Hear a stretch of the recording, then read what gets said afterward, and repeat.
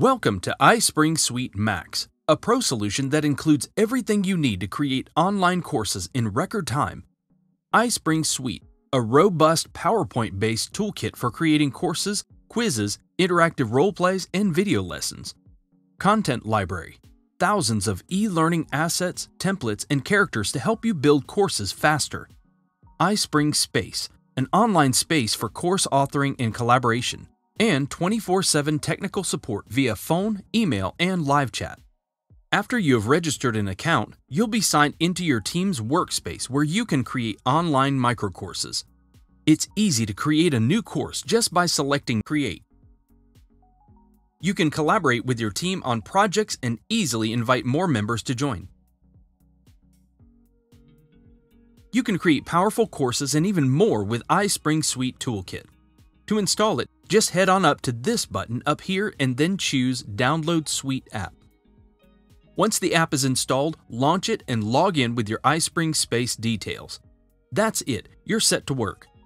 Now choose what you want to create a quiz or a survey, a simulation, a screencast from your screen or camera, an interaction, an ebook, or an entire slide course in PowerPoint that can include any of these options.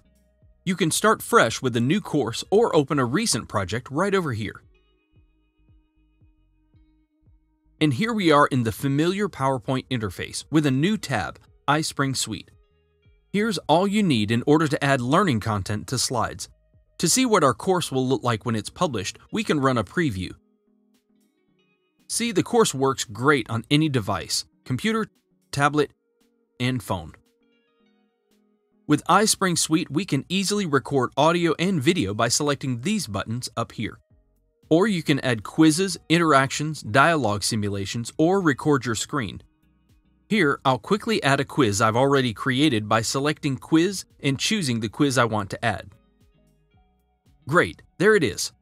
You also have access to the content library, which has over 68,000 assets, including complete slide templates, characters, backgrounds, objects, and icons. Alright, here's my favorite part. It's time to publish this course for the web. You can publish directly to your computer in HTML5 format, to iSpring Space, which is an online space for teamwork and collaboration on courses, to iSpring Learn LMS, or to another LMS using one of the supported standards like SCORM or XAPI, or directly to your YouTube channel. Today, I'm going to publish to iSpring Space and share the course with my team.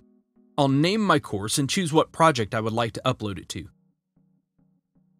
Now select Publish. It shouldn't take too long to publish, but if you have a lot of audio and video in your course, you may want to grab a cup of coffee. Once the upload is complete, select Manage Content. iSpring Space will automatically open up so you can view your course online. Now you can share a link with stakeholders so they can review your content and give feedback. Let's quickly hop back into your project and look at how to publish to your computer. Make sure your project is named properly and select where you'd like to save it. Then go ahead and publish. This will save your project in HTML5 format directly to the selected folder. From here, you can open the file viewer to see where your project has been published, email your course, open an FTP manager to transfer your course to a web server, or create a zip version of your published files. You can also click to see what your published course looks like. And that's how to make a course with iSpring Suite Max. Go ahead and try it out.